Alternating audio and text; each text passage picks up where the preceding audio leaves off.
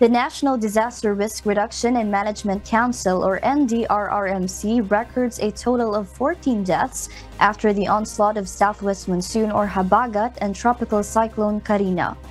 Most of these casualties come from Calabarzon region, although the agency has yet to confirm their details. Region 9, on the other hand, records four deaths, while Bangsamoro Autonomous Region in Muslim Mindanao, or BARMM, have two reported deaths, with one that has yet to be confirmed. The rest are from Region 10, Region 11, and the National Capital Region, or NCR, each with one confirmed deaths. Most of the victims were due to landslide and drowning.